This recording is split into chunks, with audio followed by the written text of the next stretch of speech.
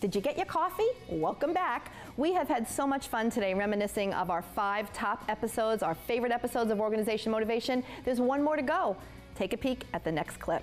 We're here at a Oh, this home was a great York, and we're helping the one. This was a great They have been one. granted a wish from the Make a I Wish cried at the end of this Foundation. one. Like I got very emotional in the my daughter, close of the show. Hi.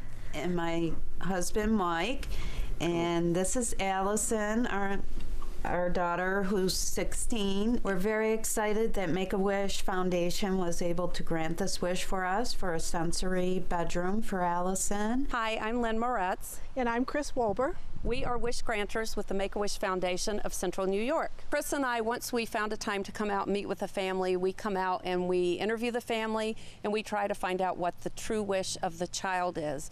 And once we determined that the family wanted to do a sensory bedroom. Yeah, this was a great episode. I remember, you know, be, being really emotional um, because, you know, sometimes I think we all take our health for granted, and so when you have, you know, you're working with uh, a child that has special needs, we just we couldn't do enough for this family. Designing the room and figuring out how things are going to go. That not only do we keep in mind the size of the bed, but she's in a wheelchair, so we want to make it accessible from both sides.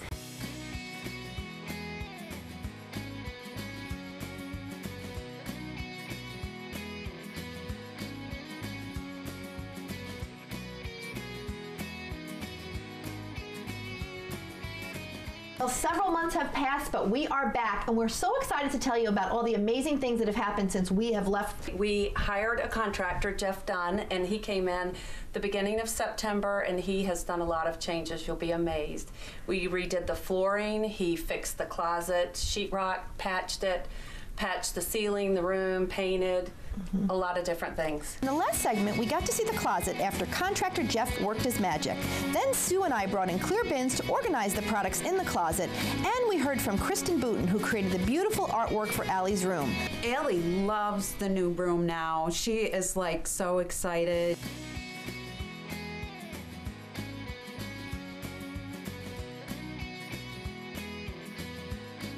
This is probably one of the most emotional shows that we ever did. We really got connected to Allison and her family, and we loved working with the Make a Wish Foundation. We do love to do work with nonprofits and children, so this was a perfect combination.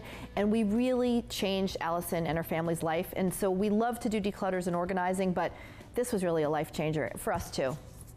Well, that's our first clip show. I can't believe it's over already. I want to thank all of our amazing fans, our clients, and especially our production team. We hope that all of us here at Organization Motivation inspire you to organize an area of your home or office. To watch complete episodes of our show, please visit our website, organizationmotivation.com. We'll see you next time on our next new episode of Organization Motivation.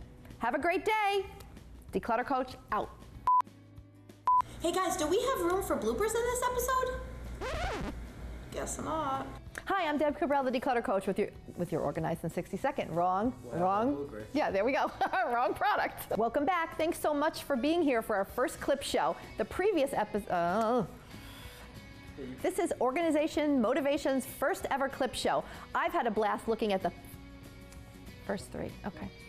We love doing the. Sorry.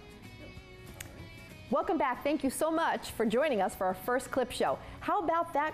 I don't even remember what we saw. To watch previous episodes, visit organizationmotivation.com.